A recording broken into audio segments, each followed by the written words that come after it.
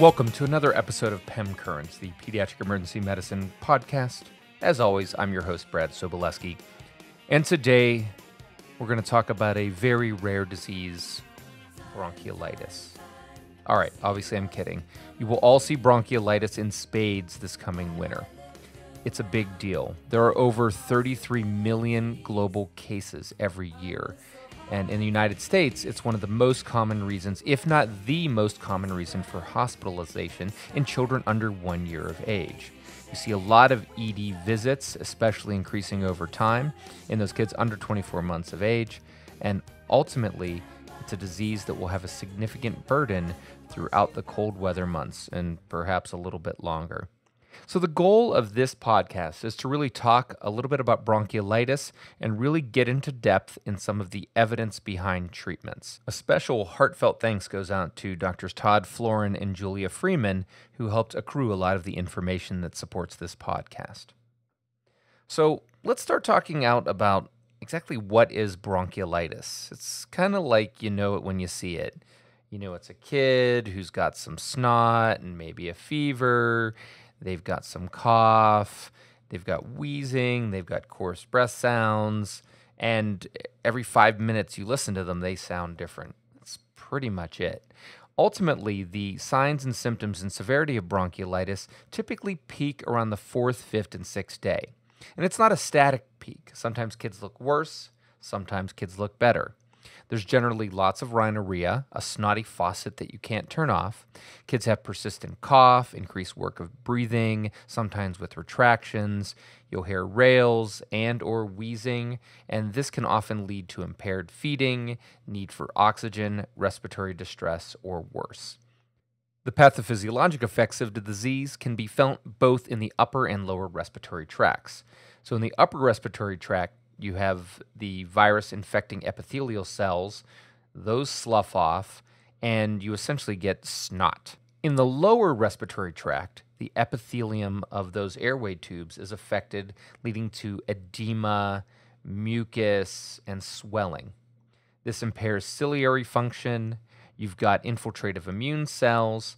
So essentially, you have infection of the bronchioles, which is bronchiolitis with that cumulative narrowing of the lower airways, you'll see compensatory signs in kids. So they'll breathe faster, they'll use accessory muscles, they'll have noisy, turbulent breathing. And I think it's important to explain these to parents. In my experience, it helps them differentiate from bronchitis, which Grandma Mabel might have had, and ultimately helps them understand why their child has the symptoms that they do. All right, so let's move on to talking about some of the specific diagnostics and monitoring tests that are available in bronchiolitis. And let's start with the ubiquitous pulse oximetry. It turns out that pulse ox, as you'd expect, ends up being a key factor in disposition and patient length of stay. But is it really helping us? There's no international consensus on what SAT levels are required for hospital admission. It may be different if you live at high altitude, like Denver, versus not. It's not really associated with uh, severity of illness. It's variable. Remember, SATs are averaged over the previous, you know, 15 to 30 seconds, so they're not a moment-to-moment monitoring. And is it really considered the standard of care? Does a baby transiently desat to 89 but pop right back up when they're asleep mean that you actually have to bring them into the hospital? And pulse ox is really limited. You can have a poor signal because the kid has dark skin, they're a little dehydrated. Um, you can get a low reading in children because of the way the monitor's applied. It's distal to a blood pressure cuff, for instance. You know, they've got cardiac disease. And really, it's not as precise in the 70 to 90% range. You've got a plus minus 2% uh, margin of error. And the evidence is a little bit limiting. Studies from both Mallory and Schuh have shown that lower SATs make it more likely for the patient to be admitted. So, even in a study where they falsely lowered or raised the SAT reading, this changed the decision, regardless of any other clinical findings, of disposition. And then infants stay hospitalized longer despite feeding and hydration going okay when the pulse ox read lower. So clearly, this objective data that you can measure ultimately plays a large role in what we're doing with patients. And again, as I alluded to earlier, healthy infants have transient DSATs during sleep. You know, mild bronchiolitis with well appearing infants do have transient DSATs to less than 90, some even lower than that.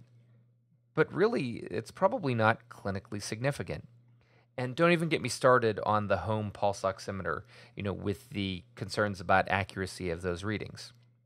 So, in general, the AAP, per their 2014 guidelines, really recommends that, you know, giving oxygen if the SATs are less than 90 is probably a good idea, but transient DSATs, you got to look at the context and really consider whether or not that's important. And certainly, continuous pulse oximetry, well, the jury's out, but it may just keep kids in the hospital longer. All right, viral testing. The take home point here is that if you clinically know that it's bronchiolitis, it's bronchiolitis. It does not matter whether it's RSV or human metapneumovirus or some really cool virus only the hipsters have heard about. So it really doesn't help you predict outcome. So perhaps in the future, quantitative viral load and other specific studies may help, but right now, unless it's a complex chronic kid who's critically ill or you need it to differentiate from specific bacterial etiologies, do not get routine viral testing. RSV or not, doesn't matter. Chest x rays as well. Again, if you think it's bronchiolitis on your history and exam, well, the chest x ray is likely to do that. It does lead to increased rates of antibiotic prescribing if you get a chest x ray in a patient with bronchiolitis because you'll see little patchy areas of atelectasis, which then make you think, oh, that might be a focal consolidation. Let's go ahead and put them on antibiotics.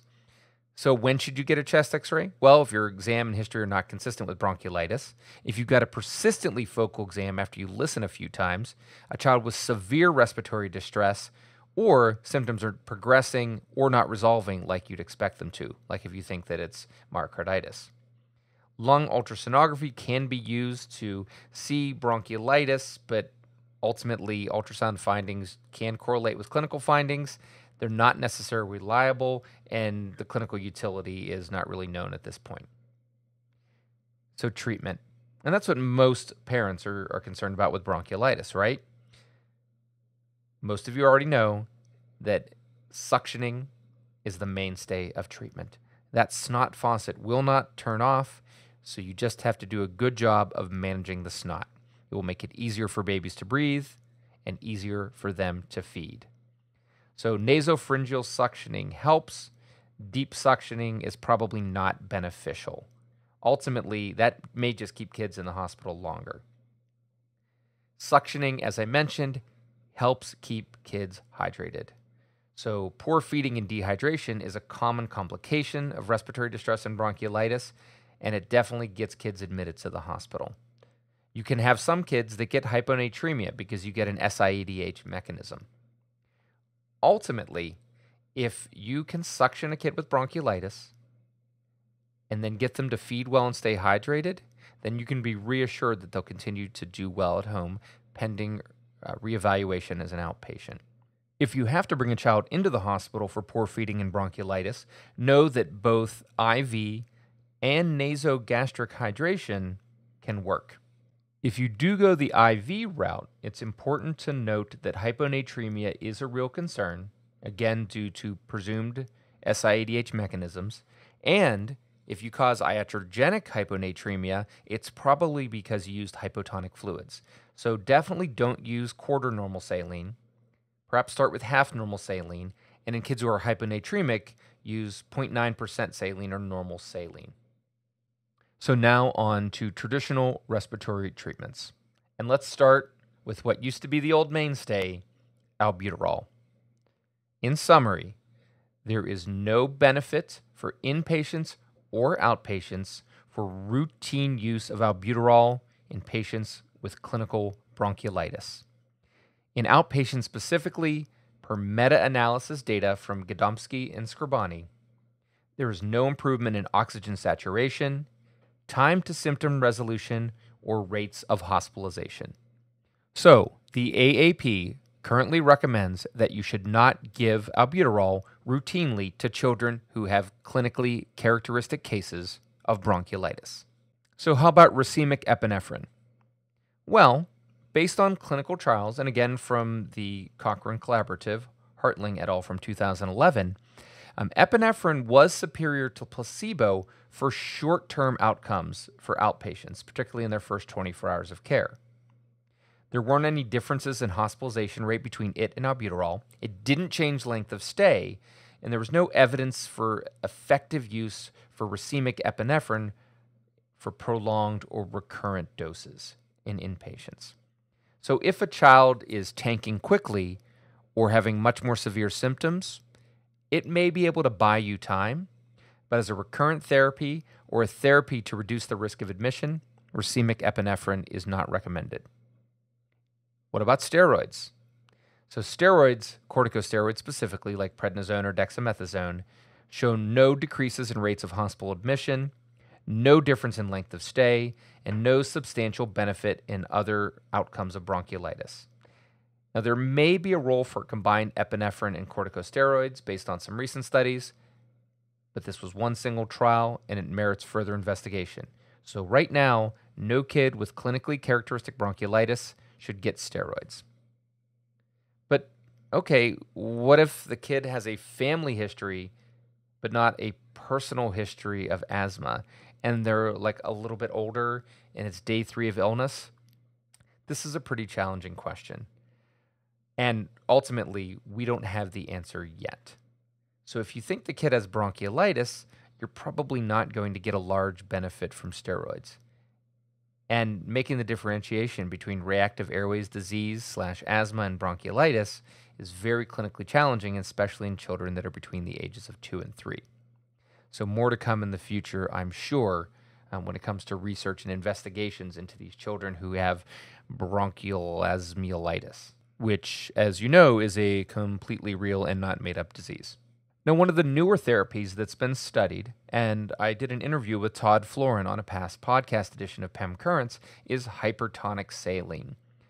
It's thought that this highly concentrated saline solution can add outward osmotic drive to get some of that fluid out of the lumen of the tubes. So ultimately, the evidence as we understand it right now in the emergency department is that there's not really a significant benefit and it's not recommended by the AAP. Now, in children that are admitted, there is level B evidence, though there are inconsistent randomized control trials, that show that you may shorten the length of stay if the average length of stay is expected to be and institutionally based greater than 72 hours. So the benefit does outweigh the harm in those situations. For most patients, especially where you're only going to admit for a day or so, repeated doses of hypertonic saline probably aren't going to make a difference.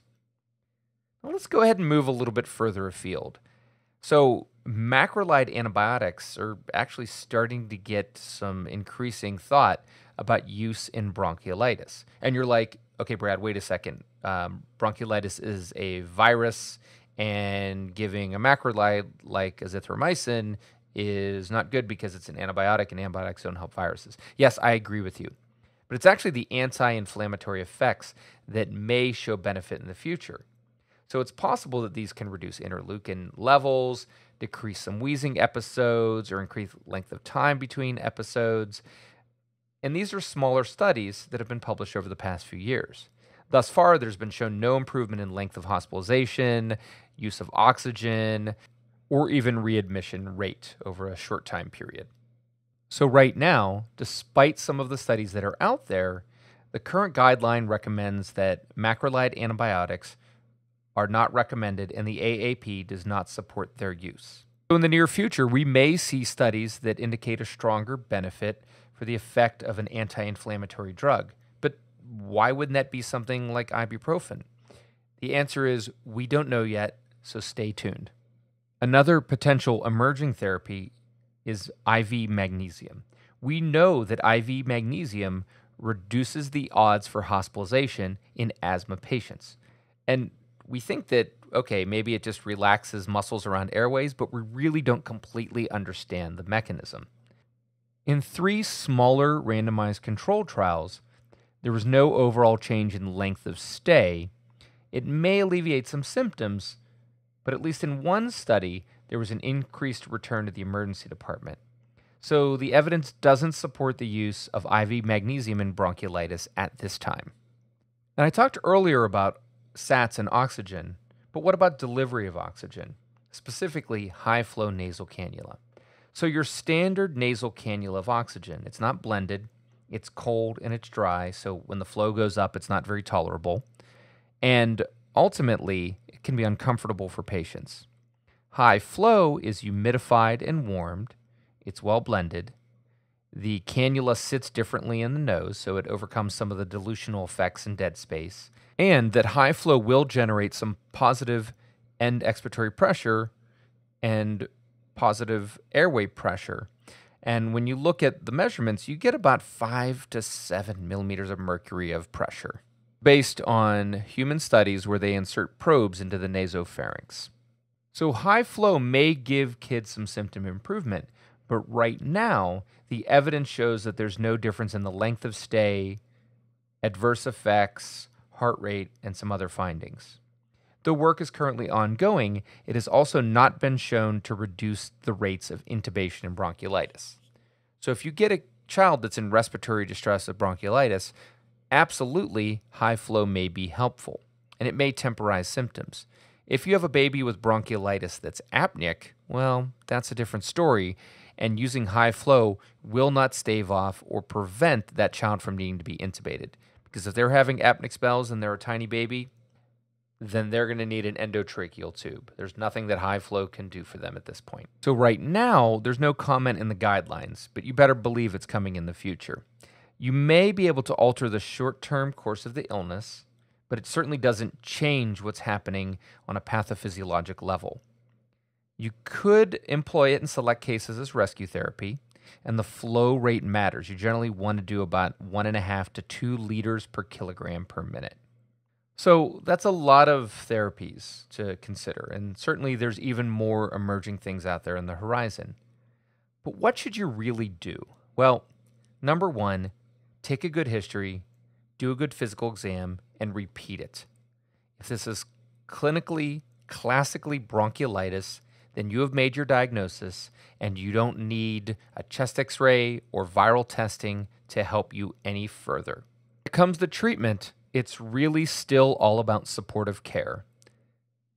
Suctioning, adequate hydration, and oxygen to maintain SATs greater than 90%. Suctioning should be done via the nasopharynx. You can ask parents to get a NoseFrida or other devices, and they should generally suction before feeds, and before bedtime. Fluids, you got to make sure the kid stays hydrated, and suctioning and eating go hand in hand.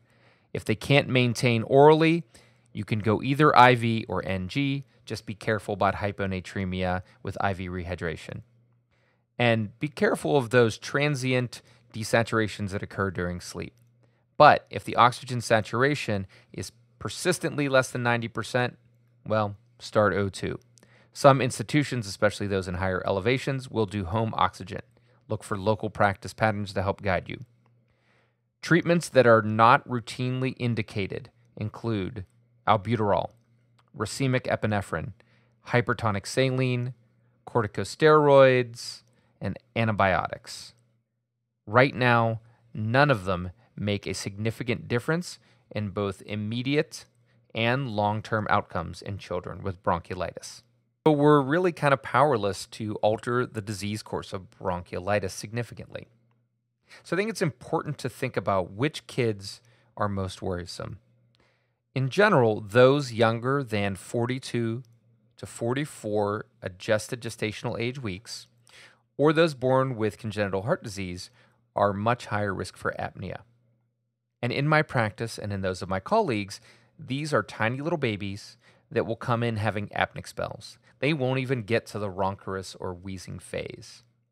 Assessing severity in bronchiolitis really takes repeated assessments of respiratory status, use of available data, and assessment of hydration status. You should get very good at talking to parents about the clinical course of the illness and providing excellent reassurance and education on suctioning, the goal of making sure that they are booger getting masters by the time their child leaves your emergency department. Teach them how to assess respiratory status. And if available, show them a video of a child in respiratory distress so that they know what tachypnea and deep retractions truly look like. All right, so that's all I have on bronchiolitis. Certainly, I could go on and talk about emerging therapies and making that differentiation between reactive airways disease and viral infections of the lungs, but I'll leave that one for another day. I'd be delighted to continue the conversation online. You can find me on Twitter at PemTweets and check out pemblog.com for all your pediatric emergency medicine related educational needs. Until next time, this has been Brad Sobolewski for PEM Currents, the Pediatric Emergency Medicine Podcast.